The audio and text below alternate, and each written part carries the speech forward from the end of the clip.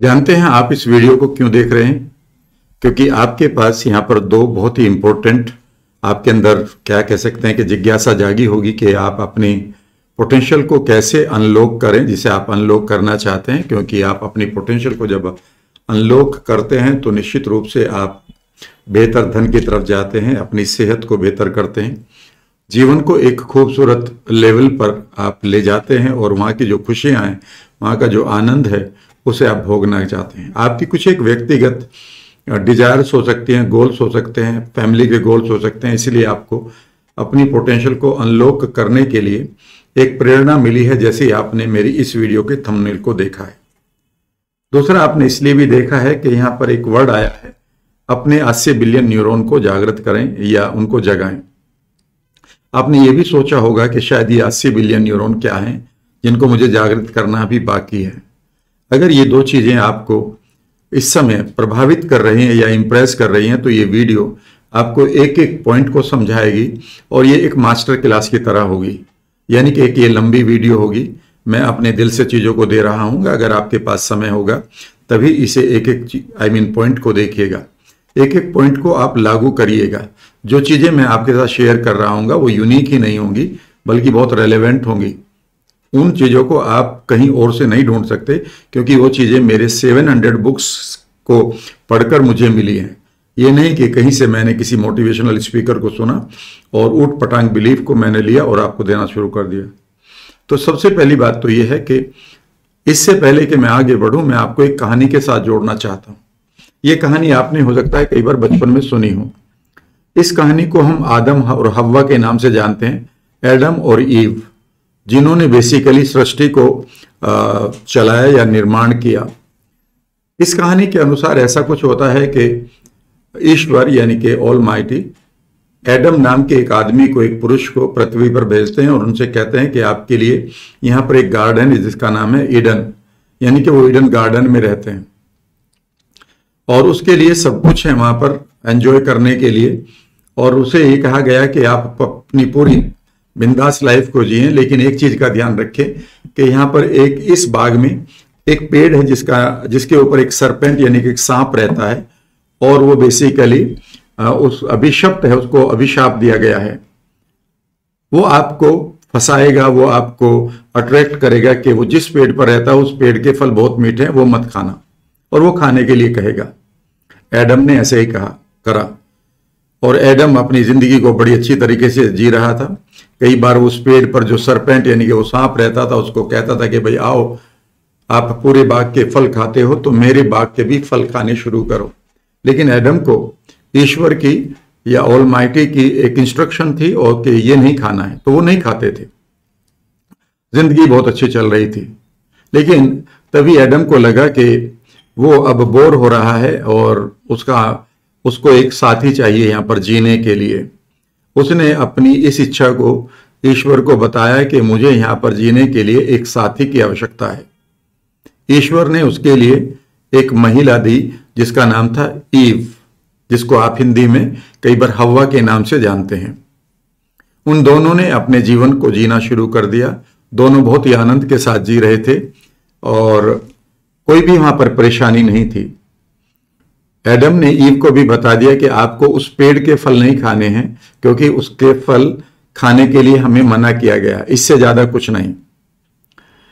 Ewe उसकी बात मान रही थी। एक दिन की बात है कि ईव इस जंगल में घूम रही थी और अचानक वह उस पेड़ के बगल से गुजरी जहाँ पर वह सरपेंट या वो सांप रहता था। और जैसे वो वहाँ से गुजरी, उस सांप ने उसे अट्रैक्ट कर लिया और कहा कि तुम सारे बाग के फल तो खाती हो इस पेड़ के भी तो फल खाओ। उसने कहा कि मुझे मना किया गया। उसने कहा कि तुम्हें किसी साजिश के तहत मना किया है आपको ये फल खाने चाहिए। और इस बार इस एक बार इसको खाकर देखो शायद आप आई मीन इसको अच्छा लगेगा और अगर अच्छा नहीं लगेगा तो फिर आप आ, मत खाइएगा। ईव की बात ये समझ में आ गई और उसने एडम से पूछे बगैर उस पेड़ का फल खा लिया। और उस पेड़ के फल की खास बात यह थी कि जैसे ही उस फल को खाया तो वो बेसिकली ट्री ऑफ़ नॉलेज था। यानी कि एक ज्ञान का पेड़ था। अब नॉलेज का मतलब ज्ञान ही कहूँगा मैं यहाँ पर, या समझदारी तो या कोई और वर्ड नहीं दूँगा। लेकिन जैसे ही उसने इस फल को खाया कि अचानक उसको दुनियादारी की बातें समझ में आने लगी, उसे लगा कि हम तो नेकेड हैं और अचानक उन्होंने कहा कि हम नेकेड हैं, हमें नेकेड नहीं रहना चाहिए। और पता चला कि जैसे ही उसने ये फल खाया तो एक तूफ़ान आ गया वहाँ पर। एडम ने पूछा कि क्या हुआ? उसने कहा कि मुझे उस सांप ने फल खाने के लिए कहा था और मैंने खा लिया। एडम ने कहा कि तुमने हमारे जितने भी आनंद था, देवीय आनंद हमें मिल रहा था, इस जीवन का उसका सत्यानाश कर दिया है। और तभी पता चला है कि ईश्वर ने भी उनसे जो एक ब्लेसिंग, उनको गिफ्ट में मिली थी, उसको हटा लिया। यहाँ पर यह कहानी खत्म हो जाती है। लेकिन इस कहानी को आप मेटाफोरिकली सोच के देखिएगा। उस पेड़ को हमने नॉलेज ऑफ़ ट्री भी कहा गया है और नॉलेज ऑफ़ डेथ भी I mean tree of death भी उसी को कहा गया। यानी कि उस पेड़ के दो नाम रखे गए। एक ट्री ऑफ़ नॉलेज और दूसरा ट्री ऑफ़ डेथ तो आखिर उस पेड़ को ऐसा क्यों कहा गया कि वो ट्री ऑफ़ नॉलेज भी था और ट्री ऑफ़ डेथ भी था? यानी कि अगर हमें नॉलेज मिल रही है तो क्या वो डेथ हमें देगी? यह समझने की बात है। मैं एक किताब को पढ़ रहा था जो रूज मोगल की लिखी हुई है। फॉर एग्रीमेंट है and the the tree of knowledge के नाम से भी एक किताब, उनकी पाँच छह किताबें हैं। I have read it all तो उसमें बेसिकली समझाने की कोशिश की गई है जो पहले, इससे पहले कि आप अपनी माइंड की उस पोटेंशियल को खोलना चाहते हैं जिसके द्वारा आप धन कमाना चाहते हैं। अपने लिए बेहतर सेहत को या किसी बीमारी को यूटर्न करके सेहत को एंजॉय करना चाहते हैं या रिश्तों को बेहतर करना चाहते हैं। तो सबसे पहले आप ये समझिए कि आप ऑलरेडी ट्री ऑफ़ नॉलेज या ट्री ऑफ़ डेथ का ये फ्रूट खा चुके हैं। इसको समझने की कोशिश करिएगा, उस सरपेंट को अभिशाप दिया गया था कि एक दिन यह सोसाइटी यह जमाना तुम्हारा मुँह भी कुचलेगा, तुम्हारा फन कुचल देगा। याद रखिएगा, इसका एक बहुत बड़ा यहाँ पर मेटाफोर या संकेत है। जब हम पैदा होते हैं तो कुछ दिनों के लिए हम अपनी लाइफ को बहुत ही बेहतरीन तरीके से जीते हैं। वह साल भी यूजुअली दो या ढाई साल होते हैं अब। और जिसमें हमें किसी नियम की आवश्यकता नहीं पड़ती खुश रहने के लिए। ऐसा लगता है कि उन दो सालों में हमारे लिए सब कुछ बना है। अगर हम कुछ गलती भी करते हैं तो उसके ऊपर हमारे पेरेंट्स हँसते हैं, गोद में उठा लेते हैं। हमारी केयर की जाती है। और ये एक ऐसी दुनिया है जहाँ पर आपके न्यूरॉन को ये लगता है, यानी कि ब्रेन सेल्स को ये लगता है, जो आपके सबकॉन्शियस का पार्ट है कि यही वो लाइफ है। और जैसे इससे आगे आप बढ़ना शुरू कर देते हैं तो सडनली सोसाइटी, यानी कि समाज आपको अपने नियम पढ़ाना शुरू कर देता है। बेसिकली समाज आपको नियम इसलिए भी पढ़ाता है, उसकी अच्छी बात भी है कि आप समाज के लिए बन जाओ और आप असामाजिक कार्य ना करने शुरू कर दो तो वो आपको समाज के रूल देने शुरू कर देते हैं। साथ ही वो आपको सामाजिक कार्यों के लिए, सामाजिक रूल्स के लिए ट्रेंड करना शुरू कर देते हैं। आपको बताना शुरू कर देते हैं कि दो और दो चार को ही रटना पड़ेगा या लॉजिकली समझना होगा।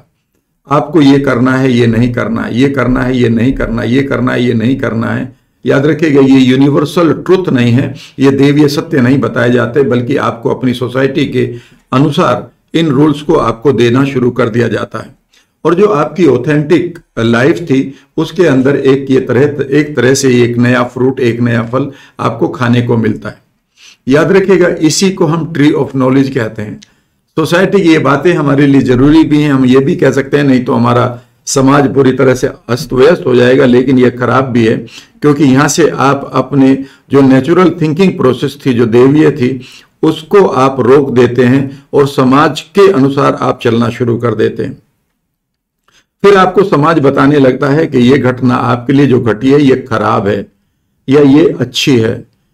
ऐसा होना चाहिए था, ऐसा नहीं होना चाहिए था। अगर ऐसा होगा तो तुम खुश, तुम्हें खुश रहना है। ऐसा नहीं होगा तो तुम्हें खुश नहीं रहना है।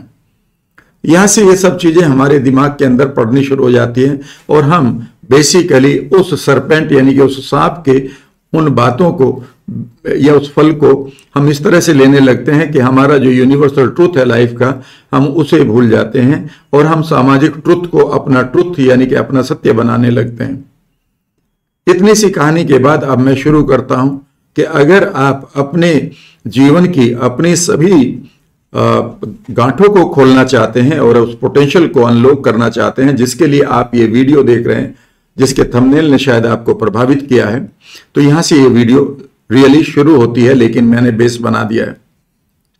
मैं ये बताना चाहता हूँ कि जब आप पैदा हुए थे तो आपके पास 80 बिलियन ब्रेन सेल्स थी, और इन ब्रेन सेल्स की खास बात यह है कि एक ब्रेन सेल्स की पावर बयासी जीबी है। इतनी बड़ी मेमोरी को आप रखते हैं। ये आपस में जब कम्युनिकेट करते हैं तो इनके बीच में केमिकल्स बहते हैं, और ये इन केमिकल्स का बहना बेसिकली इन ब्रेन सेल्स का एक नेटवर्क बनाने में सहायक होता है। ये नेटवर्क जैसा भी बनेगा, याद रखिएगा, वही आपका परसेप्शन है और वही परसेप्शन जिसको आप मेमोरी भी कहते हैं या आपके सबकॉन्शियस के इम्प्रिंट कहते हैं, वही आपकी पोटेंशियल को लॉक कर देते हैं या अनलॉक करने में सहायक हो सकते हैं। अगर आप पुराने यकीनों को लेकर जी रहे हैं तो मुझे मालूम है अगर आप एक मिडिल क्लास फैमिली से आए हैं तो आप एक वर्ड को यहीं से सीखना शुरू करें। नोट कर लीजिएगा, वो है local model excellence local model excellence का मीनिंग है कि जब आप बड़े हो रहे थे बचपन में तो आप किस माहौल में रहते थे? आप किस तरह की मूवी देखते थे? किस तरह के आपके रिलेटिव आते थे? किस तरह की बातें आती थी? और किस तरह के इवन चैनल और न्यूज़ आपके घर में देखी जाती थी? किस तरह के आपके दोस्त थे? आपका ये लोकल मॉडल एक्सेलेंस यहाँ से आपने उठा ली है। अगर मैं बचपन में ये देखता हूँ कि बेसिकली जो आई uh, मीन mean, गरीब लोग आई I मीन mean, जो है अगर मेरा नायक गरीब है और वो फिर लड़ता है विलन से तो और मैं अपने नायक को पसंद करने लगा हूँ तो याद रखिएगा, नायक को मैंने अपना रोल मॉडल बना लिया जो गरीब है। यद्यपि वह नायक गरीबी में नहीं जीता, वो करोड़ों रुपए लेता है, और एक भी पल सिवाय इस ड्रामे के वो नहीं जीता है गरीबी में। पर वो हमें यही पढ़ाकर चला गया। वहीं पर मैंने अगर ये भी देख लिया, उसी मूवी में एक विलन है, जो बेसिकली खराब काम करता है, और जब खराब काम करता है तो उसके उसको सभी आई मीन नमस्कार करते हैं। उसकी बात मानते हैं, उसके पास पावर होती है और वो बहुत जीवन के आनंद लेता है। तो फिर मेरे एक्सलेंस में ये भी आ गया कि मुझे भी यही करना है। ये एक्स जो एक्सलेंस है, ये बहुत इम्पैक्ट डालती है हमारे माइंड के ऊपर, क्योंकि चारों तरफ़ हमारे घटित होती रहती है।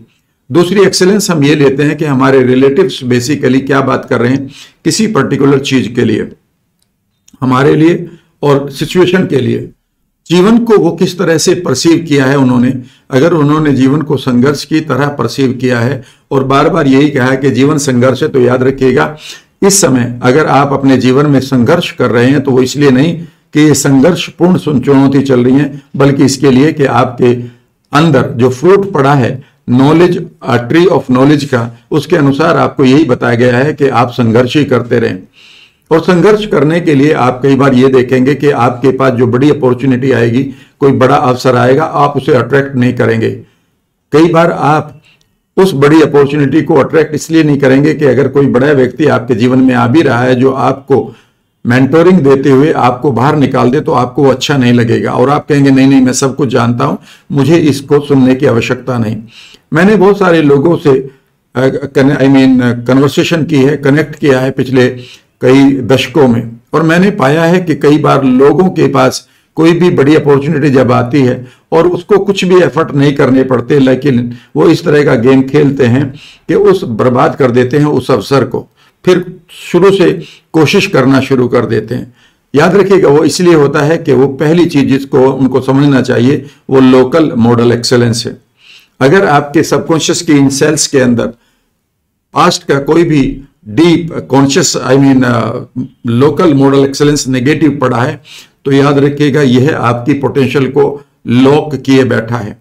यहाँ पर आप कितने भी मोटिवेशनल स्पीकर को सुन लें, जो आपके कॉन्शियस माइंड को तो कुछ बातें बता रहे हैं, लेकिन अनकॉन्शियस में अगर ताले पड़े हैं तो इसका कोई फ़ायदा नहीं है। ये तो वही वाली बात हुई कि अगर मैं आपसे कहूँ कि आपके घर में जो तिजोरी रखी है, उसमें करोड़ों रुपए हैं, पर आप उस तिजोरी को न तो तोड़ सकते हैं और ना ही उसे खोलने का आपके पास पास कोड है।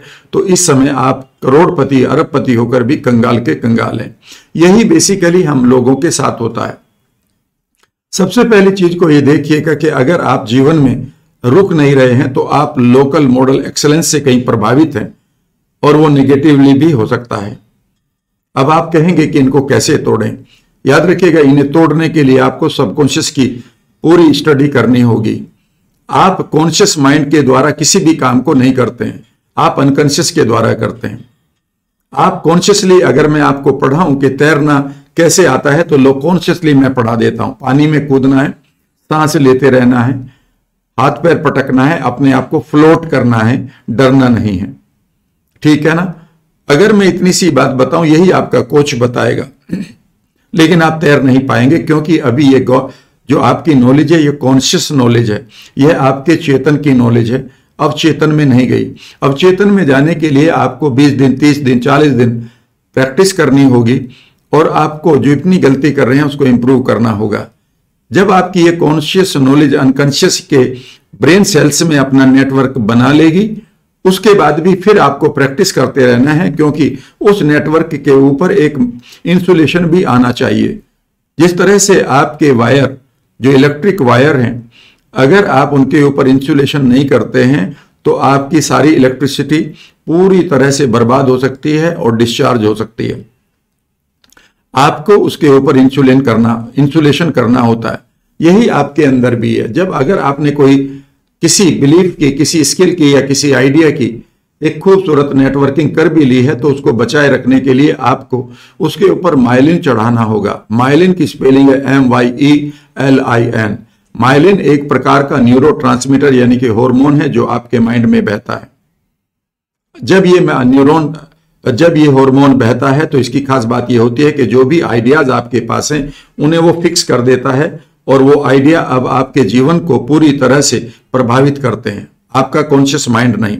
जैसे आप गाड़ी चलाना सीखते हैं तो पहले ती, तीन दिन में ही आप गाड़ी चलाना सीख लेते हैं लेकिन अगले तीन महीने तक आपको या छह महीने तक अपने उस आइडिया के ऊपर यानी कि उस जो लर्निंग आपने ली है जिसका नेटवर्क आपके माइंड और बॉडी में बनना शुरू हुआ है उसके ऊपर माइलिन चढ़ानी पड़ती है। तो दूसरा कॉन्सेप्ट आप ये भी समझिएगा कि आपको माइलिन कॉन्सेप्ट को समझना होगा। सिर्फ़ ये कहना कि ये काम आसान है, इसे तुम कर लोगे और ये चिल्ला कर कहते रहो। याद रखिएगा, आप ऐसे बातों के, ऐसी वीडियो के एडिक्ट तो हो जाओगे। रोज़ाना देखने में भी अच्छी लगेंगे, लेकिन वहीं खड़े मिलोगे जहाँ पर आप खड़े थे। मैं ये नहीं कह रहा हूँ कि इनको आपको नहीं देखना है फिर मैं ये कह रहा हूँ कि इनके परे की साइंस को समझिएगा। आप इस इतना कहने से कि मेरा बीपी 120 बटा अस्सी हो रहा है, आप अपने बीपी को नहीं घटाते। याद रखिएगा, आपका बीपी तब घटता है जब आप सबकॉन्शियस में पड़े हुए उन इश्यूज़ को रिजोल्व करते हैं जिनके कारण आपकी आर्टरीज श्रिंक हो जाती है और आपकी हार्ट बीट बढ़ जाती है। मेरी शुगर कम हो रही है, मेरी शुगर नॉर्मल हो रही है, ये कहने से तब तक काम नहीं चलते, चलेगा। जब तक कि आप सबकॉन्शियस के अंदर उन पैटर्न को नहीं हटाएँगे जिनके कारण आपका तनाव आपके लीवर में पड़ी हुई शुगर को आपके ब्लड में नहीं भेज रहा है। लेकिन अगर हम इसको नहीं समझेंगे तो आप याद रखिएगा, मिस गाइडेड है और आपकी, आपको गुमराह किया जा रहा है। जब आप गुमराह की बात करते हैं तो आप घबराइएगा नहीं। बेसिकली सभी लोग आपको राह दिखा रहे हैं और वो, आप गुमराह नहीं है जीवन में। इस सेंटेंस को भी ले लीजिएगा, जब मैं आगे पढ़ रहा हूँ। आपकी राह गुम हुई है, आप गुमराह नहीं हैं। दुनिया आपको गुमराह बताती है, पर मैं कह रहा हूँ कि वो दुनिया गलत बता रही है। आपकी राह गुम हुई है, जिसे इस समय आप ढूंढ पा सकते हैं। कभी भी आप, अपनी राह को ढूंढ सकते हैं, लेकिन उस राह को ढूंढना ही आपकी अनलॉकिंग द पोटेंशियल है। जब आप अपनी राह को ढूंढना, यानी कि खोजना चाहते हैं तो सबसे पहले आपको, राह से पहले अपने आप को, खुद को खोजना होगा। आपको यही नहीं पता है कि मेरी पहचान क्या है। अगर मुझे यही नहीं पता है कि मैं कौन हूँ और अगर मैं अपने परिवार में डिफरेंट रिश्तों के साथ बैठा हूँ, माँ के लिए मैं बेटा हूँ, बहन के लिए भाई हूँ, पत्नी के लिए पति हूँ, बेटी के लिए बाप हूँ, ठीक है ना? और अगर मुझे इस रिश्तों का पता ही नहीं और मुझे यही नहीं पता कि किसी गलती से अगर मैं अपने मेमोरी को खो देता हूँ तो क्या मैं इन रिश्तों को निभाऊँगा? जब मुझे यही नहीं पता है कि मैं कौन हूँ, जब मुझे ये मालूम है कि एक एक महिला के लिए मैं पुत्र हूँ तो मैं उसे माँ का सम्मान दूँगा और एक महिला के लिए बहन हूँ भाई हूँ तो मैं उसको बहन का सम्मान दूँगा। एक महिला के लिए पति हूँ तो मैं उसको पति का सम्मान दूँगा आई मीन कार्य रोल करूँगा और अगर मैं एक पिता हूँ, बेटी के लिए तो मैं पिता का रोल करूँगा। लेकिन अगर हमें यही नहीं पता कि मैं कौन हूँ तो मैं कैसे उस रास्ते को खोजूँगा। याद रखिएगा, जब आप ये कहते हैं कि आपकी राह गुम हो गई है तो आपको सबसे पहले राह को नहीं, खुद को खोजना है। और खुद को खोजने के लिए सबसे पहली चीज़ होती है कि आपकी पहचान क्या है, जिसे हम आइडेंटिटी कहते हैं। और आइडेंटिटी वर्ड को अगर इंग्लिश में दो शब्दों में तोड़े तो इसका पूरा फॉर्म है इड एंड एंटिटी इड का मीनिंग है कि जब आप बचपन में होते हैं, उस एनवायरमेंट को इड कहा जाता है। और एंटिटी का मतलब है कि आप एक यूनिट बन चुके हैं, आप एक इकाई बन चुके हैं। तो इसका मतलब है कि जो बचपन में एनवायरमेंट मिला है, वहाँ से जो इकाई बनकर आई है, वही आप जी रहे हैं। आज की इकाई, आज की आइडेंटिटी हो सकती है आपकी, आप एक सीएमडी हो, आप एक सीईओ हो, आप एक ट्रेनर हो, आप एक डॉक्टर हो, एक आप चार्टेड अकाउंटेंट हो। आपकी आइडेंटिटी हो सकती है कि आप एक मैनेजर हैं, आप एक पति हैं, आप एक पिता हैं। याद रखिएगा, यह आपके इस समय की कॉन्शियस आइडेंटिटी है, जिसे आप जी रहे हैं। लेकिन इन आइडेंटिटी से परे आपकी एक और आइडेंटिटी है, जिसे आप पीछे छोड़कर आ गए। यद्यपि आपको लगता है कि आप अपनी आइडेंटिटी को एक्सपेंड कर रहे हैं, लेकिन जो बेस आइडेंटिटी है, उस वो अगर कमज़ोर है, याद रखेगा उसके ऊपर आप कितने मकान बनाएँगे, कितनी मंजिलें बनाएँगे। अगर आपको कोई भी चीज़ चेंज करनी है तो आपको आइडेंटिटी को चेंज करना होगा। तभी आप अपनी खोई हुई राह को ढूंढ सकते हैं, वरना ये राह गुम रहेगी। अब सवाल उठता है कि अगर मैं अपनी आइडेंटिटी को बदलूं तो मुझे और क्या क्या फ़ायदे होंगे? जैसे ही आपकी आइडेंटिटी बदल जाएगी, आपके लक्ष्य बदल जाएँगे। या फिर, अगर आपकी आइडेंटिटी कमज़ोर है तो आपको छोटा लक्ष्य भी बड़ा लगेगा। जब आपकी पहचान अपने ही अंदर बड़ी होगी तो याद रखेगा आप बड़े लक्ष्यों को भी छोटा समझकर उन्हें मानो, आप एक फुटबॉल का गेम खेल रहे हैं, सिंपल सा बच्चों के साथ उस तरह से खेलकर बाहर आ जाएँगे। आपको कोई वैधा आई मीन व्यथा नहीं होगी, न ही आपको कोई व्यवधान मिलेगा। इतनी खास बात है आपकी आइडेंटिटी। आपकी आइडेंटिटी तो आपको यह बताएगी कि आपके लिए किस समय पर क्या इंपॉर्टेंट है। जीवन में याद रखिएगा वैल्यू सिस्टम जिसको हम कहते हैं या वैल्यू हायरार्की कहते हैं, कभी इसको आप मेरे साथ बैठकर बनवाइएगा। आपके सबकॉन्शियस के अंदर डीपली पड़े हुए हैं कि आपके लिए क्या क्या चीज़ें इंपॉर्टेंट हैं और उनकी हायरार्की क्या है, उनका सिक्वेंस क्या है। अगर आप उस सीक्वेंस को नहीं खोल पाते हैं तो ना तो आप धन कमा पाएँगे और ना ही अपने आई मीन हेल्थ को ठीक कर पाएँगे। ना ही आप मोटिवेटेड रहेंगे। सिर्फ़ हमें चिल्लाने से कुछ नहीं होगा कि I am motivated I am motivated I can do it I can do it जब तक कि आप अंदर के उन वैल्यूज़ को नहीं ढूंढेंगे जो आपके अंदर पड़ी हुई है। अगर किसी टाइम पर आपकी डीप वैल्यू पड़ी है कि मैं तो फ्रीडम में जीना चाहता हूँ तो याद रखिएगा, दूसरी वैल्यू जो आपके परिवार के लिए ज़रूरी है कि वो हो सकता है कि आपकी ग्रोथ हो या आपके रिश्ते हो तो आप कहेंगे कि हाँ उनको मैं जी लूँगा। लेकिन डीप वैल्यू अगर आपकी फ्रीडम की है तो कई बार आप किसी भी रेस्पॉन्सिबिलिटी को इसलिए नहीं उठाएँगे क्योंकि आपकी यह वैल्यू कि मुझे फ्रीडम में रहना है ये आई मीन पूरी तरह से बर्बाद हो रही होगी और ये बर्बाद नहीं होने देगी। इसलिए यह आपकी डायरेक्शन बदल देगी। जब लोग कई बार मोटी कहते हैं कि मैं प्रोक्रेस्टिनेशन का शिकार हूँ तो वो प्रोक्रेस्टिनेशन के शिकार नहीं होते भाई। असलियत में उस समय उनके माइंड के अंदर पड़ी हुई वैल्यूज़ उनको गाइड ही नहीं करती कि किधर जाना है और किस काम को कितनी जल्दी निपटाना है। आपका वैल्यू सिस्टम बेसिकली आपके लिए एक, यूँ समझिए, दिशा निर्देशित दिशा दिखाने वाला यंत्र जिसको आप कॉम्पैस कहते हो। अगर आप अपने जीवन में कॉम्पैस को खो चुके हो तो समझ लीजिएगा कि आप अपनी वैल्यू हायरार्की को समझ नहीं पाए और ना ही किसी ने आपको बताया है। अगर आप अपनी आइडेंटिटी को ठीक कर लेंगे तो एक चीज़ और भी ठीक होगी कि आप अपने जीवन के पर्पज को भी ढूंढना शुरू करेंगे। आप टूटी हुई आइडेंटिटी के साथ पर्पज को नहीं पूरा कर सकते और गोल्स को भी पूरा नहीं कर सकते। आपकी आइडेंटिटी क्या है, यही तो आपके गोल्स को निर्धारित करेगी। और गोल्स को निर्धारित ही नहीं करेगी, बल्कि गोल्स को अचीव करने के लिए आपको पूरी शक्ति भी देगी। इसलिए आप इस पहचान को दोबारा बनाने के लिए एक नया कदम उठाइएगा। एक ऐसा मेंटोर ढूंढिएगा जिसको इसकी, इसके इसका ज्ञान हो डीपली सिर्फ़ वो ऊपर की बातें ना करे, बल्कि आपके न्यूरॉन में आपकी पहचान क्या है, यह आपको पता होना चाहिए। अगर आप अपने जीवन में धनवान बनना चाहते हैं तो इसी समय आप एक टेस्ट कर सकते हैं। अपने अंदर आप अपने मानस पटल पर उन लोगों को देखिएगा जिनको आप यकीन करते हैं कि वो धनवान हैं। वो अंबानीज हैं, टाटाज हैं, बिरलाज हैं, धोनीज हैं, कोहलीज हैं, तेंदुलकर्स हैं। उनके फ़ोटो लाइए अपने सामने। देखिएगा क्या आप भी वहाँ पर हैं या उनकी इमेज आपकी इमेज से अलग है।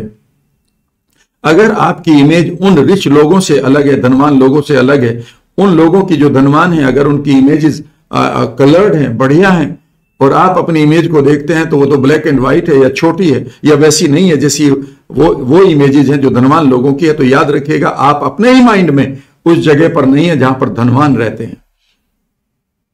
यानी कि आप अपने आप को आइडेंटिफाई ही नहीं करते हैं कि आप धनवान हैं।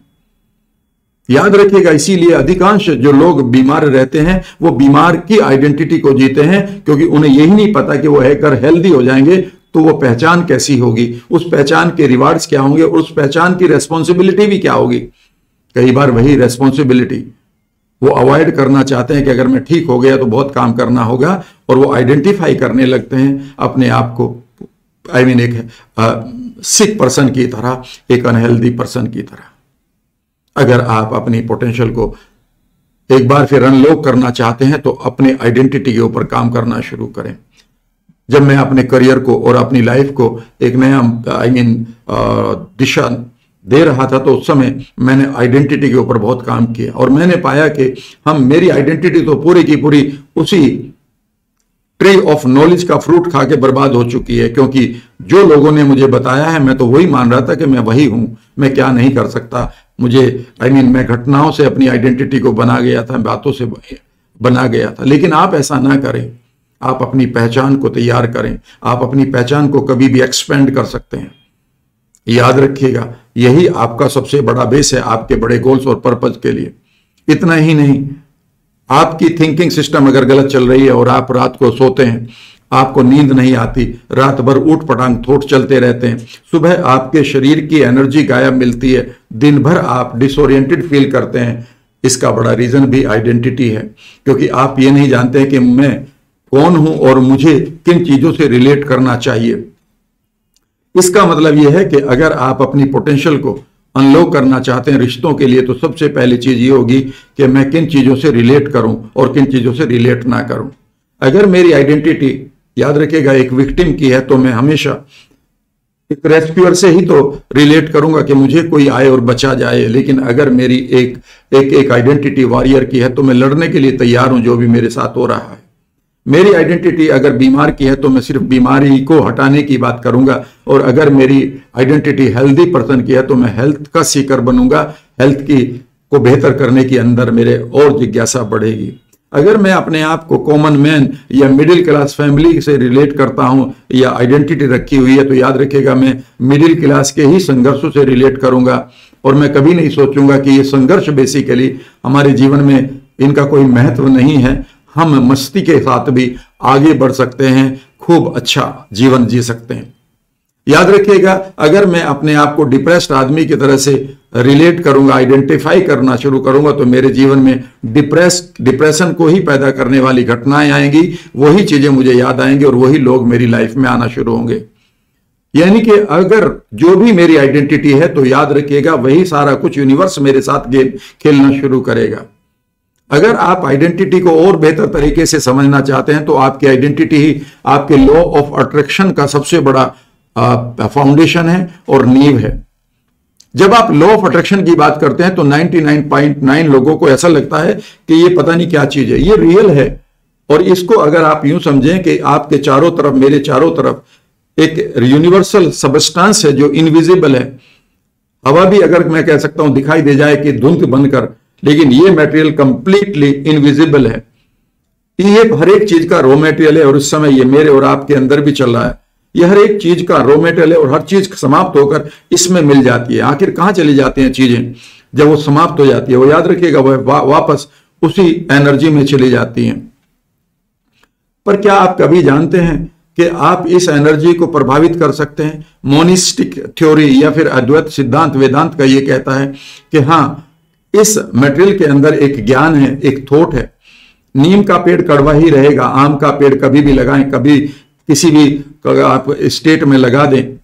वो एक ही तरह से उसका आई I मीन mean, एक ही सीज़न पर फ्रूट्स आने शुरू हो जाएँगे। कहने का मतलब यह है कि आखिर कौन है जो उस छोटे से बीज के अंदर से एक बड़े पेड़ को पैदा करता है?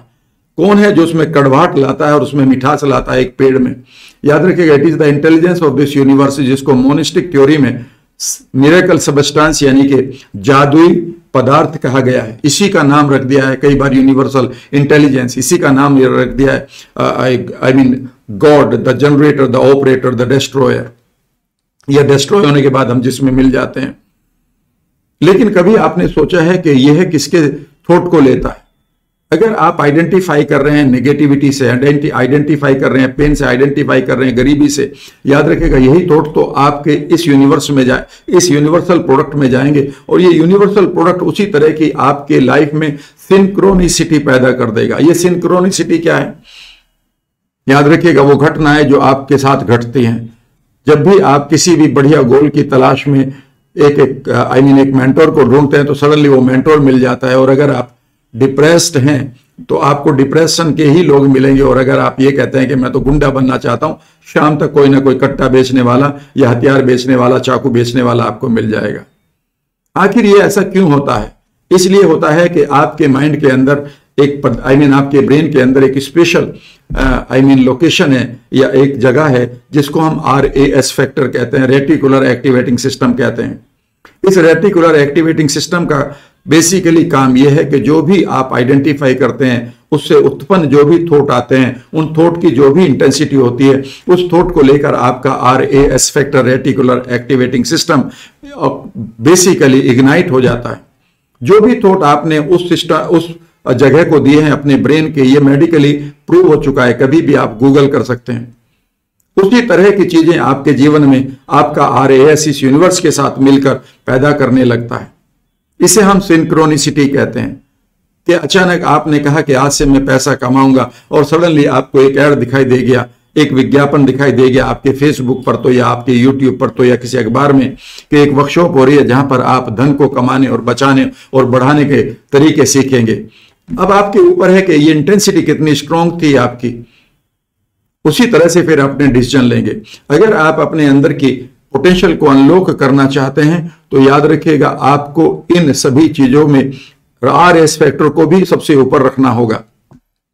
अगर आप अपने लाइफ में उस पैसे को नहीं कमा रहे हैं, हर रोज आप नई एक वीडियो सुन लेते हैं कि पैसे को कैसे बढ़ाएँ, पैसे को कैसे कम करें, पैसे को कैसे मल्टीप्लाई करें, अपने आई मीन डिसीज़न को कैसे ठीक करें, याद रखिएगा, ये तो वही वाली बात है कि आपके किसी अंग में पस पड़ चुकी है अंदर वो पकता जा रहा है और अब आप उस वो जो ऊपर स्किन के ऊपर पपड़ी आने लगी है या गंदा सा एक आई I मीन mean, दाग पड़ने लगा तो अब आप बेसिकली नई नई क्रीम्स ढूंढ रहे हैं और नई प्लास्टिक सर्जरी की बातें कर रहे हैं कि कैसे मैं इस स्किन को साफ़ करूँ। अरे भाई अंदर की पस तो निकलेगी तभी तो चीज़ों को ठीक किया जाएगा।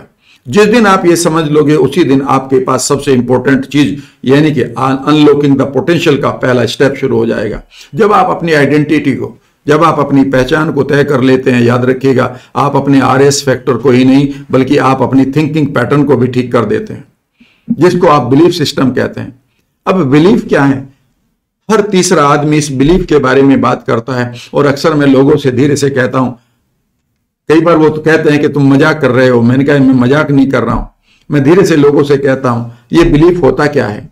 अगर मैं आपसे इसी समय पूछूँ, बिलीफ क्या होता है? पता आप क्या कहेंगे? यकीन होता है। और यकीन क्या होता है?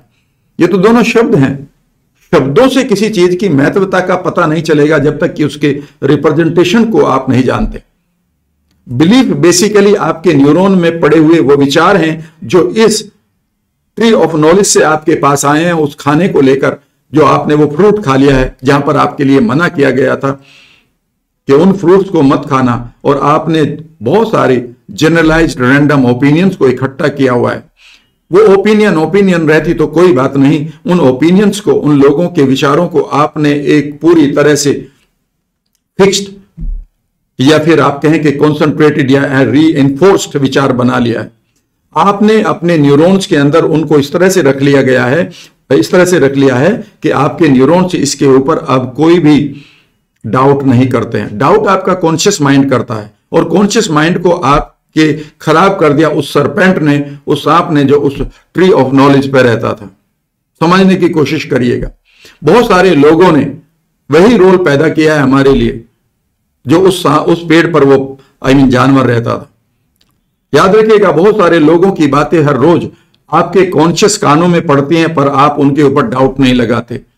रोज के विज्ञापन, रोज के बेकार की बातें, बहुत सारी वीडियोस बहुत सारी टॉक्स बहुत सारे लोगों के विचार आपके कानों के अंदर जाकर कोई फ़िल्टर नहीं रखते हैं आप कानों में, और वो डायरेक्टली आपके अनकॉन्शियस का पार्ट बन जाते हैं। और अनकॉन्शियस में कोई भी लॉजिक आई मीन कोई ऑब्जेक्शन नहीं है। जो भी आप उसे देंगे, वह उसे मान लेगा। और उसे मानकर वो अब आपको डायरेक्शन देगा। फॉर एग्ज़ाम्पल अंधेरे में डर होता है, अंधेरे में भूत होता है। अगर ये पाँच बार आपने सुन लिया और इसके ऊपर आपने कोई ऑब्जेक्शन नहीं लगाया, यद्यपि आपके पास बुद्धि थी इंटेलेक्ट था, बुद्धिक, बौद्धिक स्तर पर आप इसे ठीक कर सकते थे, पर आपने नहीं किया। क्योंकि वह बातें कुछ इस तरह से कही जाती है जिसको हम हिप्नोसिस कहते हैं। हिप्नोटाइज किया गया आपको कि अंधेरे में भूत होता है। और अब आप उस भूत को परमानेंट बना चुके हैं अपने माइंड के अंदर। और अब आपका जो सबकॉन्शियस है, या आपकी ब्रेन सेल्स हैं आपके न्यूरॉन्स हैं, एक चीज़ को जानते हैं कि अंधेरे में भूत होता है और वो दूसरी चीज़ जानते हैं कि भूत खतरनाक होता है, वह नुकसान कर सकता है। और तीसरी चीज़ ये, उसने ये मान ली कि भूत से आपको बचाना है। अब वो भूत से आपको बचाने के लिए क्या करेगा?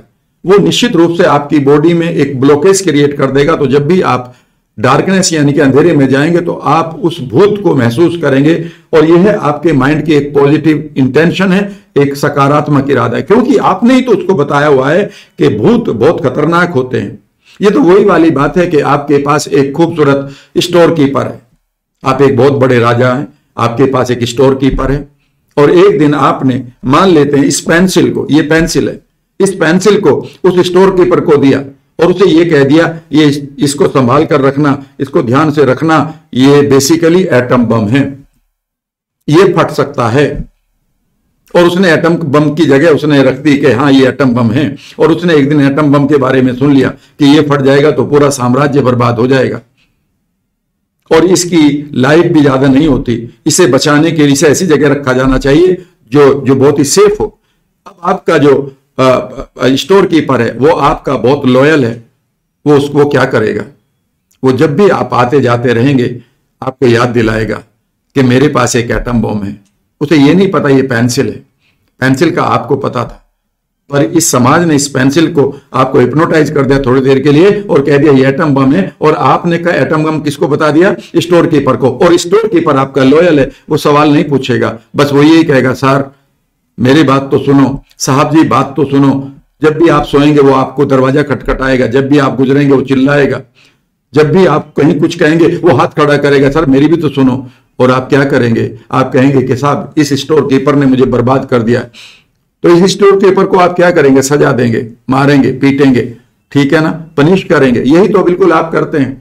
जब आपका शरीर आपको कोई मैसेज दे रहा होता है, जब आपको डर लगता है, ये एक मैसेज है। जब आपको एंजाइटी होती है, एक मैसेज है। जब आपके अंदर प्रोकरेस्टिनेशन है, ये एक मैसेज है। जब आपके अंदर कोई बीमारी आती है, ये मैसेज है। आपका उस समय माइंड और बॉडी ये बता रहा है कि भाई, मेरे पास एक एटम बम रखा है और मैं तुम्हें तंग इसलिए कर रहा हूँ। और तुम क्या करते हो? तुम instead of resolving that issue के रियल इशू क्या है, उसे रिजोल्व करने के अलावा हम क्या करते हैं? या तो हम केमिकल्स खाने लगते हैं, या कुछ बेकार की बातें और अपने दिमाग में ले लेते हैं। याद रखिएगा, जो रियल आपका जो सॉल्यूशन है, वो ये नहीं है कि आप उस स्टोर कीपर को बार बार पनिश करें। वो तो जब तक आपका लॉयल रहेगा, तब तक आपको याद दिलाएगा और आपको याद ही नहीं दिलाएगा, परेशान भी करेगा और ये उसकी पॉजिटिव इंटेंशन है। जब आप अनलॉकिंग द पोटेंशियल की बात करते हैं तो याद रखिएगा, आपके अंदर किसी भी बिलीव आई मीन कोई भी बिलीफ ऐसा पड़ा है, जो नेगेटिव है तो याद रखिएगा, आपका माइंड और आपकी बॉडी उस बिलीफ को लेकर आपको एक चेतावनी दे रही है। अगर आपको यह बताया गया है कि पैसा संघर्ष से आता है तो याद रखिएगा यह बिलीफ आपके अंदर पड़ चुका है। अब आपके न्यूरॉन्स बेसिकली सिर्फ़ संघर्ष ही संघर्ष करेंगे। अगर किसी दिन आपके पास बड़े पैसे की कोई अपॉर्चुनिटी आ जाए, या कोई मेंटोर, या कोई गाइड मेरे जैसा आपसे कहे कि नहीं, नए रास्ते हैं, आप कहेंगे, नहीं, मैं नहीं मानूँगा। क्यों? क्योंकि आपके अंदर एक इंस्क्रिप्शन पड़ा है और वो इंस्क्रिप्शन ये पड़ा है वो एक पैटर्न पड़ा है और वो ये पड़ा है कि धन जो है वो संघर्ष ही आएगा। और आप संघर्ष ही करते रहेंगे।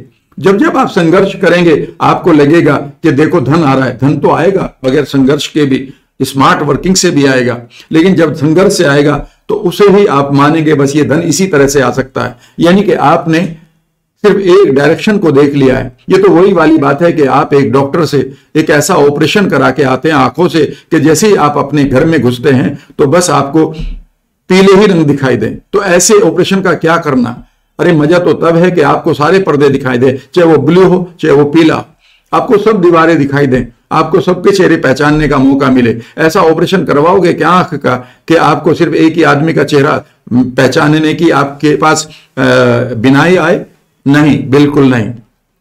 याद रखिएगा, अगर आप अपनी पोटेंशियल को अनलॉक करना चाहते हैं तो आपके सबकॉन्शियस के अंदर डीपली ये बिलीफ पड़े हुए हैं। और ये बिलीफ क्या करते हैं, मैं ये भी बता देता हूँ। ये बिलीफ आपस में न्यूरो के द्वारा दूसरी सेल को भी वही बिलीफ दे देते हैं। और एक न्यूरो एक एक ब्रेन सेल उसी न्यूरो का यूज़ करते हुए दूसरी सेल को। एक सेल एक बार में 2500 से लेकर दस हज़ार सेल के साथ जुड़ी होती है। एक बिलीफ आपके अंदर आ गया कि पैसा संघर्ष से आता है, पैसा खराब है। मैं कुछ नहीं कर सकता, मेरी तो लाइफ खराब है। याद रखिएगा, आपके 80 बिलियन न्यूरॉन में एक खबर जा चुकी है। और 80 बिलियन न्यूरॉन में खबर जाने का मतलब ये नहीं है कि अब आप शांतियों से बैठेंगे। नहीं, ये न्यूरॉन्स इमीडिएटली न्यूरोपेप्टाइड के द्वारा, यानी कि हॉर्मोन्स के द्वारा, यानी कि उन मैसेंजर्स के द्वारा जो आपकी बॉडी में नर्वस सिस्टम में चलते हैं। वो नर्वस सिस्टम कहाँ जाके रुकता है? याद रखिएगा, आपकी बॉडी पर। वो आपकी बॉडी को बता देंगे कि हम परेशानी में हैं। यानी कि जो आपका बिलीफ है, वो बेसिकली बायोलॉजी में बदल जाता है। Belief of biology biology of belief है, किताब पढ़ी भी होगी। तो हर एक बिलीफ बेसिकली आपके न्यूरोपेप्टाइड यानी कि रसायन में बदलता है। और ये रसायन तय करते हैं कि अब आपके सेल के ऊपर क्या एटमोस्फियर होगा। आपकी सेल के ऊपर क्या एनवायरमेंट होगा। आपकी सेल के अंदर जो डीएनए है, वो किस तरह से काम करेगा? डीएनए का जो माइटोकॉन्ड्रिया है, जहाँ पर आपकी एनर्जी स्टोर्ड है, वो एनर्जी अब आई मीन वीकनेस में बदलेगी एक्साइटमेंट में बदलेगी, गुस्से में बदलेगी, या फिर वो सुसाइडल थॉट में बदलेगी। जैसे ही वो माइटोकॉन्ड्रिया की एनर्जी एकदम से इंटेंसिटी के साथ जाती है, याद रखिएगा, यहाँ यहाँ पर भी बात नहीं रुकती।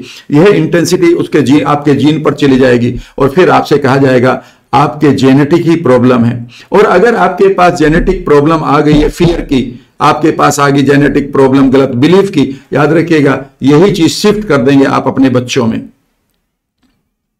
इसलिए आपके लिए ज़रूरी है कि आप अपने बिलीफ को भी बदलें। बिलीफ आपका क्या है अपने पास्ट के लिए? कई बार आपका बिलीफ पास्ट के लिए बहुत नेगेटिव है। वहाँ से आपको हील करना होगा।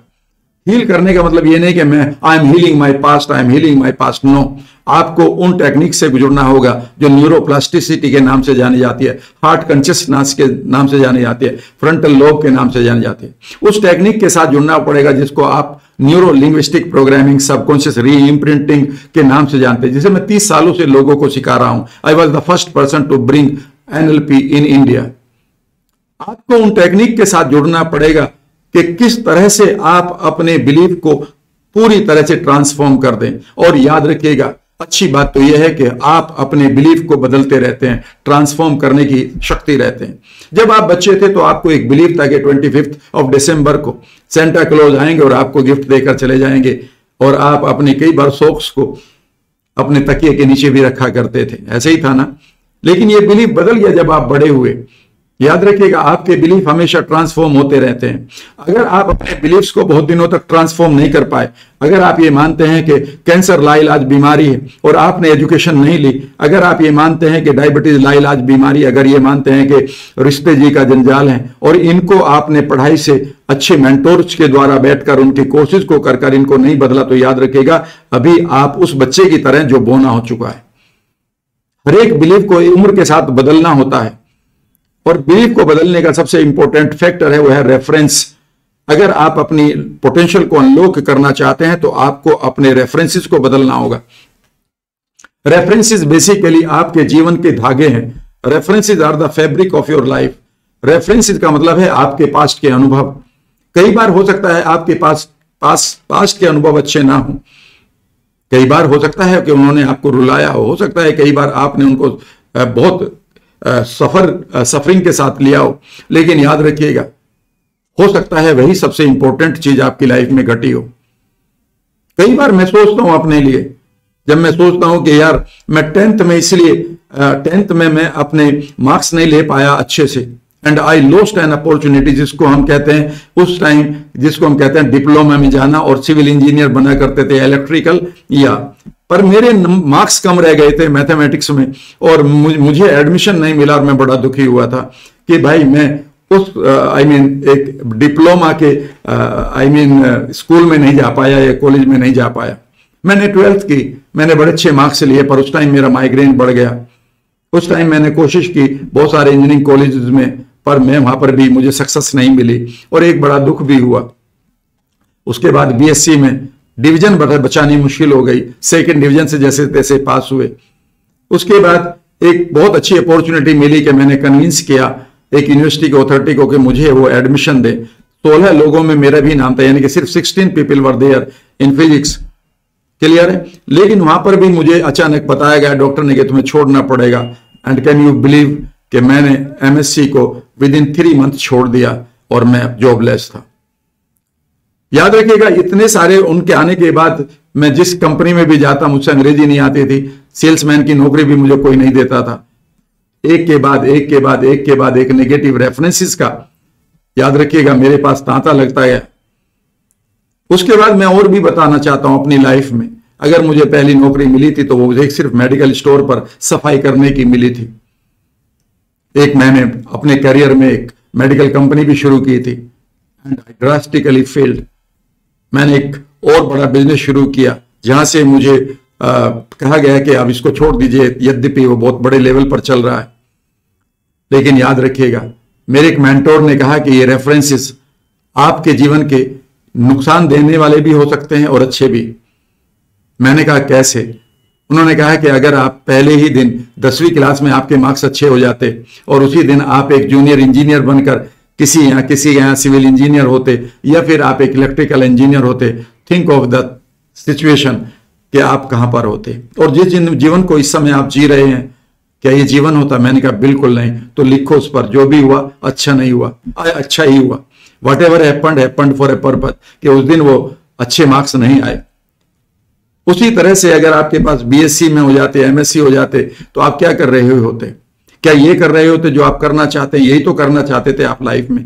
आई सेड यस और उसने कहा है कि जितने भी फेलियर आपको लाइफ में मिले हैं आई मीन अपने करियर में मिले हैं, याद रखिएगा, उन्होंने आपको खराब किया है अच्छा किया है, ये आपके ऊपर है। हम हमेशा ये चाहते हैं कि ऐसा हो जाता तो ऐसा हो जाता, वैसा हो जाता तो वैसा हो जाता, याद रखिएगा, जो भी हो रहा है अच्छा ही हो रहा है। In my life I had five references जहाँ पर मुझे नियर डेथ एक्सपीरियंस है। एक तीन मंजिला मकान से, एक छोटी सी गली से मैं गुजर रहा हूँ और तीन मंजिला मकान, समझ लीजिए, उसकी छत पर बच्चे खेल रहे होंगे और उन्होंने एक ईंट फेंकी। और ईंट कहाँ गिरी? Can you believe let me disclose the fact today और मैं उस समय नौवीं, आठवीं या नौवीं क्लास में था। It was a very bad time for my family because I lost my father at that time मैं साइकिल पर था, उस गली में धीरे धीरे साइकिल चला रहा था और वो जो ईंट पड़ी है, वो मेरे साइकिल के पिछला जो स्टैंड होता है उसके ऊपर गिरी। यानी कि मेरे सर से, मुश्किल से एक इंच पीछे गिरी है। Had it fallen on my head तो क्या होता? तो whatever is happening in your life याद रखिएगा it is happening for a purpose good और बैड को छोड़ दीजिएगा। अगर आप अपनी पोटेंशियल को अनलॉक करना चाहते हैं, अपने रेफरेंसेस को एक तरह से सेटल करिए। आपके पास हो सकते हैं कि बहुत अच्छे रेफरेंसेस हो लाइफ को जीने के। और आपने बहुत सारे लोगों को देखा है कि they are born with silver spoon उनके पास याद रखिएगा, जब वो पैदा हुए थे, उनके पास सब कुछ था। लेकिन दे कुड नॉट लिव आप एक ऐसे आदमी को भी जानते हैं जिसने सात हज़ार करोड़ रुपए कमाए, लेकिन उसकी लाइफ को आप देखें तो you will hate that that life and you know that person died recently वो किंग ऑफ़ शेयर्स आप कह सकते हैं।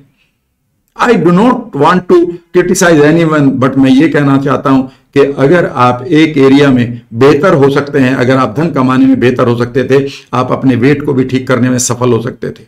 लेकिन हो सकता है कि पैसे के लिए आपके रेफरेंस ठीक ठाक हो, लेकिन आपने अपने सेहत के लिए अपनी, अपने मोटापे के लिए अपनी अपनी हेल्थ के लिए रेफरेंस खराब किए हुए थे। और आपने उसी खराब हेल्थ में, अपनी फोर्टीज में ही या अर्ली फिफ्टीज में यानी कि इस जीवन को छोड़ दिया, जबकि आपके पास सात हज़ार करोड़ थे और इन सात हज़ार करोड़ से आप और सात हज़ार करोड़ कमाकर इस सोसाइटी को बहुत बड़ा एक गिफ्ट दे सकते थे। याद रखिएगा, नाम तो बड़ा हो गया, लेकिन आपके रेफरेंस कहीं बहुत पुअर थे। अगर आप जीवन में आगे बढ़ना चाहते हैं, अपनी पोटेंशियल को अनलॉक करना चाहते हैं तो अपने पास्ट के अनुभवों को लर्निंग की तरह लेना शुरू करें। लर्निंग की तरह जैसे आप अपने रेफरेंसेस को लेना शुरू करेंगे तो इमीडिएटली आपके अंदर एक ऊर्जा आएगी। हो सकता है कि आपको कोई छोड़कर गया हो। हो सकता है कि आपके पास बहुत बड़ा लॉस आया हो। हो सकता है आपकी लाइफ में ग्रीफ आया हो। याद रखिएगा, ये सबकी लाइफ में आते हैं। ऐसा कोई व्यक्ति नहीं है। I have I have very early grief in my life that cost me the migraine the acidity even the rheumatoid arthritis लेकिन याद रखिएगा, अगर मैं उन्हीं पलों को देखता हूँ तो वहीं से मुझे एक बेहतर डिफरेंट या फिर एक नया जीवन लेने का मौका भी मुझे वहीं से मिला है। वो दूसरी बात रही है कि बहुत सारे रेफरेंसेज ऐसे भी आते रहते हैं कि, आते रहे कि वो डिटूर होता चला गया, यानी कि वो लंबा होता चला गया रास्ता। लेकिन एक बात को याद रखिएगा you will reach where you belong to आप वहाँ ज़रूर पहुँचेंगे जहाँ से आप बिलोंग करते हैं। रामदेव को देखिएगा, स्वामी रामदेव को देखिएगा। उनके पास ना ही बहुत बड़ी बैकग्राउंड थी, ना ही उनके पास बहुत बड़ा धन था, ना ही वो बहुत बड़े आईएएस ऑफिसर के बेटे थे, और ना ही वो आईएम अहमदाबाद के स्टूडेंट थे, या आईआईटी के स्टूडेंट थे। लेकिन उन्हें जहाँ पहुँचना था, पहुँच गए। Is one of the biggest power powerful is one of the most powerful person of the countries याद रखिएगा, उनकी चलती है। और जिसे जहाँ जाना था वो चला गया। एक आदमी है जिसका नाम विजय मलाया है और वो भी जहाँ जाना था चला गया। याद रखेगा you will bill you will reach where you belong to आपको कोई नहीं रोक सकता। या तो आप ऊंचाई पर जाएँगे या आप अपनी नीचाई पर। और ये सब डिपेंड करता है कि आप अपने प्रेजेंट को और अपने फ्यूचर को कैसे लेते हैं। प्रेजेंट में हो सकता है कि आपके पास कोई एंग्जाइटी हो। उस एंग्जाइटी को हैंडल करें। आपके पास बहुत सारे मेंटोर हो सकते हैं जो NLP subconsciously imprinting neuroplasticity heart consciousness frontal lobe जैसी टेक्निक लगाकर आपको हेल्प कर सकते हैं। जो आपको एक खूबसूरत सा हिप्नोसिस का सेशन देकर आपके खूबसूरत आई मीन बिलीफ को इम्प्लांट कर सकते हैं अपने प्रेजेंट के लिए और अगर आप अनलॉक करना चाहते हैं तो आपको अपने फ्यूचर को भी देखना होगा। फ्यूचर के लिए आप किस तरह से बैठे हुए हैं? या किस तरह से आप सोचते हैं? जब हम फ्यूचर की बात करते हैं फ्रेंड्स हम इसको भविष्य कहते हैं और इसकी पूरी फॉर्म में भव ईस्ट भव ईस्ट का मीनिंग यह है कि आप ईस्ट मीन्स जो डिवाइन है, जो देवी है, जो पूजनीय है, जो पॉजिटिव है, जो मन चाह है। और भव मीन्स घटित होना। जब जब आप अपने आने वाले समय में उन चीज़ों को घटित करना चाहते हैं, जो आप चाहते हैं पॉजिटिव हो, याद रखिएगा, उसी को भविष्य कहा जाता है, वरना वहाँ पर भी पेन पड़ा है। यही कारण है कि लोग अक्सर अपने भविष्य में बहुत सारा दर्द देखते हैं। वो इसलिए दर्द देखते हैं क्योंकि उन्होंने अभी तक उन जो ईस्ट घटनाएँ हैं, उनको भव, यानी कि उनको घटित करने के लिए प्लान नहीं किया। इसके लिए ज़रूरी है कि आप अपने आउटकम के साथ जुड़े। अगर आप अपनी पोटेंशियल को अनलॉक करना चाहते हैं तो आप अपने आउटकम के साथ जुड़े। आउटकम का मीनिंग यह है कि आज आप जिस स्थिति में हैं यह आपकी प्रेजेंट स्टेट है, इसे आप कहाँ ले जाना चाहते हैं? वह आपकी डिजायर्ड स्टेट है। याद रखिएगा, इन दोनों के बीच का गैप ही आपका दर्द है और यही आपका सबसे बड़ा एक्साइटमेंट भी हो सकता है। आप आज हो सकता है कि 98 केजी के हों, पर आप 60 के 7 केजी के होना चाहते हो। याद रखिएगा, आप नहीं है, यही पेन है और आप हो सकते हैं, यही एक एक्साइटमेंट है। यही आपकी सोच आपको, याद रखिएगा डिफरेंट बनाएगी। हो सकता है कि आज आपके पास पैसे ना हो, पर आप करोड़पति बनना चाहते हो। ये गैप कि मेरे पास पैसे नहीं है और मैं करोड़पति कैसे बनूं, यही आपको दर्द भी दे सकता है और मैं ज़ीरो पर हूँ और करोड़ों रुपए कमाऊँगा, यही आपके एक्साइटमेंट का भी एक बहुत बड़ा कारण बन सकता है। याद रखिएगा। लेकिन इसको पूरा करने के लिए सब लोग आपको हाउ बताएँगे कि आपको करना क्या है, लेकिन मैं बता रहा हूँ, आपके न्यूरॉन्स आपके हाउ को तो ढूंढ लेंगे। आपके न्यूरॉन्स आपके लिए जो हाउ कैसे करूँ, वो अपने आप ढूंढ लेंगे, आपको बता देंगे। बस उनको ये बता दो कि आपका भाई क्या है। याद रखिएगा, जब आप अपनी इंटेंसिटी को बढ़ाना शुरू करते हैं किसी भी आउटकम के लिए तो आपके न्यूरॉन आपको इमीडिएटली रिज़ल्ट देना शुरू कर देते हैं। मैं अक्सर एक एक्सपेरिमेंट की बात करता हूँ, जिसका नाम है Glen Rein experiment HeartMath Institute, California का ये एक आई मीन एक्सपेरिमेंट है। उन्होंने कुछ हीलर से कहा, उनके हाथ पर एक ह्यूमन डीएनए रख करके आप पॉजिटिव सोचें लव अप्रिशिएशन ग्रेटिट्यूड फॉरगिवनेस इसको सोचें, इसकी फीलिंग को क्रिएट करें और बताएँ कि क्या हुआ तीन मिनट के बाद उनके डीएनए को चेक किया गया जो उनके सब हाथ में बीकर में रखा था। वहाँ कोई फ़र्क नहीं पड़ा। लेकिन उनसे दूसरी बार कहा गया कि अब आप इन्हीं इमोशंस को पैदा करें। आप love appreciation gratitude forgiveness empowerment इन सबको आप लें और एक आइडिया भी रखें कि आपका डीएनए घूमना चाहिए। और पता है, तीन मिनट के बाद उनके हाथ में जो बीकर में डीएनए था ह्यूमन डीएनए मशीनों से चेक किया गया इंस्ट्रूमेंट से तो पाया गया कि वो 35 परसेंट घूम चुका था। This is the power of your intensity याद रखिएगा, जब भी आप अपने लक्ष्यों को प्राप्त करना चाहते हैं तो आपके अंदर वही बड़ा स्ट्रांग होना चाहिए। अगर आप अपनी पोटेंशियल को अनलॉक करना चाहते हैं फ्रेंड्स याद रखिएगा, आपके पास पेन और प्लेजर का एक बहुत इंपॉर्टेंट कॉम्बिनेशन बना हुआ है।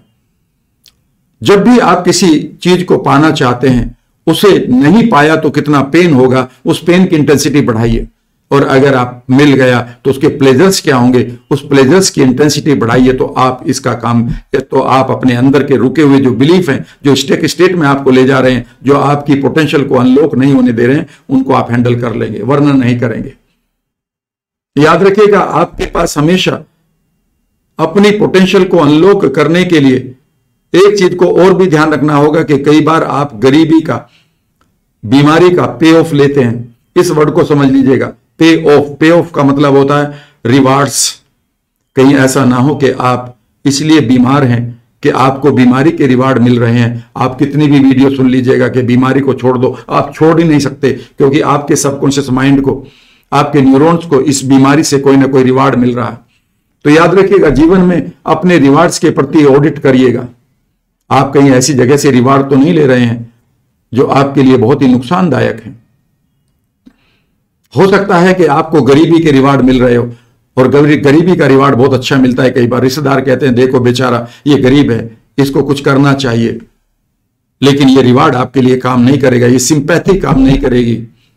रिवार्ड हो सकता है, आपके लिए हर एक चीज़ का आपके पास रिवार्ड है, अमीर बनने का भी और गरीब बनने का भी। बस गलती ये कर रहे हैं हम कि इन रिवार्ड्स का ध्यान नहीं रखते। अगर आप अपने जीवन में बहुत सारी पोटेंशियल को अनलॉक करना चाहते हैं तो इन रिवार्ड्स को भी देखना शुरू करें। और एक बार आप अपने माइंड के अंदर जाकर बैठे कि आप क्या चाहते हैं। क्या है आपके कारण कि आप इस प्रेजेंट स्थिति से, उस डिज़ायर स्थिति तक जाने की जो जर्नी है, जो गैप है, इसे पूरा करने के लिए एक एक्साइटमेंट चाहते हैं।